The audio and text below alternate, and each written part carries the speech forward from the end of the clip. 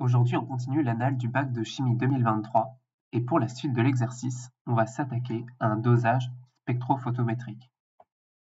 Cet exercice se présente sous la forme d'un problème ouvert où l'on nous demande de vérifier la présence du principe actif dans le médicament.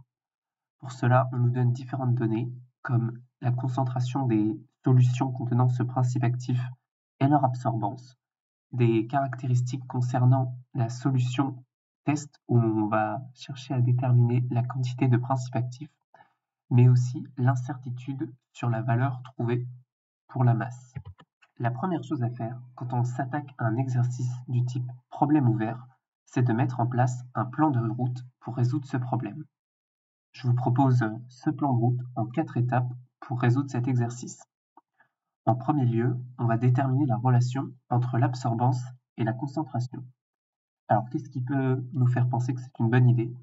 Déjà, dans les données de l'énoncé, on remarque que l'on nous donne l'absorbance en fonction de la concentration du principe actif.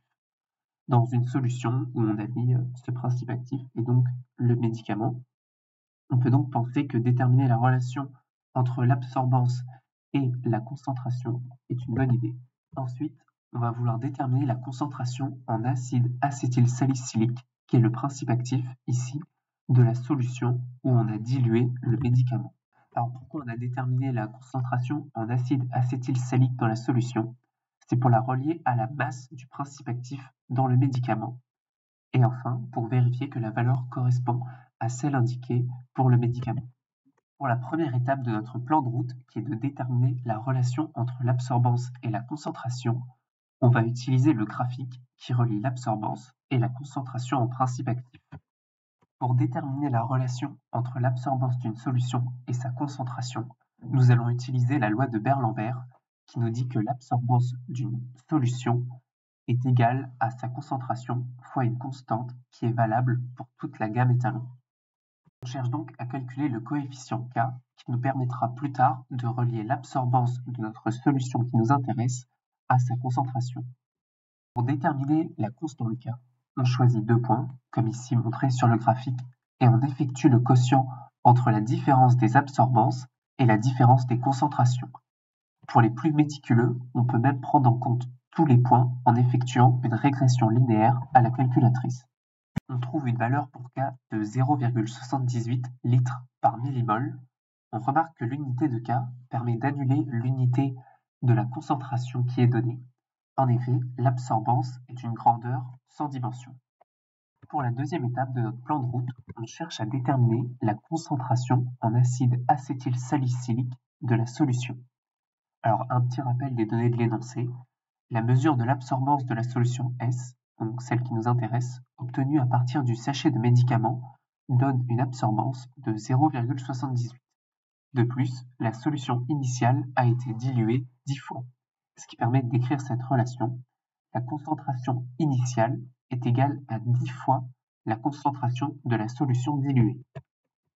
On utilise ensuite la loi de Berlambert avec le coefficient K qui a été déterminé dans la partie précédente.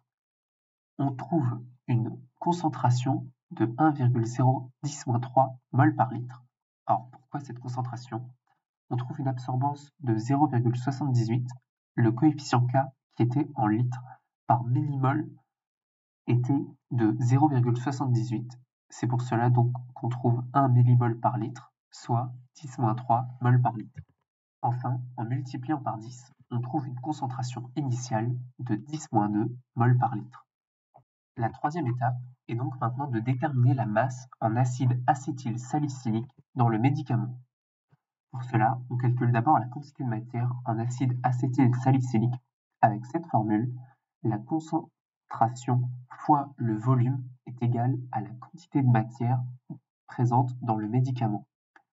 Puis on relie la quantité de matière à la masse avec la masse expérimentale qui est égale à la masse molaire de l'acide acétylsalicylique fois sa quantité de matière.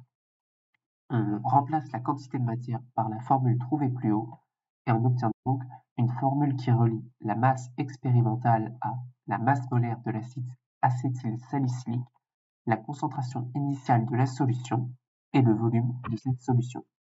trouve finalement une masse expérimentale de 0,450 g. Il nous reste maintenant à vérifier que la valeur correspond à celle indiquée pour le médicament. Alors, on se rappelle que notre valeur de masse expérimentale était de 0,450 g. J'ai écrit directement ici 450 mg. On verra pourquoi c'est utile pour la suite. La valeur du fabricant indiquée, que l'on notera masse Théo comme théorique, est de 500 mg. L'incertitude donnée dans l'énoncé était de 30 mg. C'est pour cela qu'on a exprimé les masses en milligrammes. On calcule maintenant le quotient entre les écarts expérimentaux et l'incertitude. Ce quotient doit être inférieur à 1 pour que les deux valeurs puissent être cohérentes entre elles. On trouve pour le quotient une valeur de 1,67. On peut donc penser que l'indication du fabricant est fausse. Après avoir résolu cet exercice, voici quelques notions qu'il est important de retenir pour la suite de ton parcours. Tout d'abord, la loi de Berlambert qui relie l'absorbance à la concentration.